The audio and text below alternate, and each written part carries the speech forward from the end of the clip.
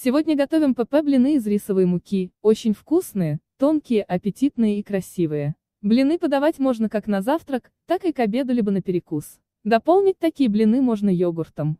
Помимо рисовой муки в состав блинов входит молоко, немного масла, яйца. Для сладости можете использовать любой заменитель сахара. Конечно же во всем нужна мера, поэтому блины подавайте порционно, иначе рискуете съесть их все сразу.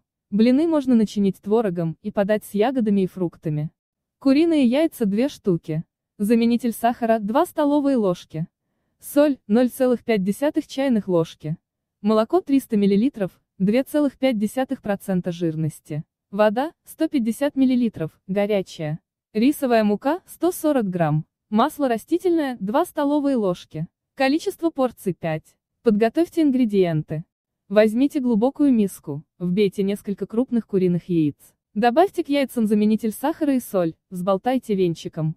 Влейте в миску молоко. Добавьте горячую воду, но не крутой кипяток. Добавьте в миску рисовую муку. Перемешайте все миксером, добавьте масло. Оставьте тесто отдохнуть на 5-10 минут. Разогрейте сковороду, смажьте маслом, влейте немного теста. Жарьте блины с каждой стороны по 30 секунд. Приятного аппетита!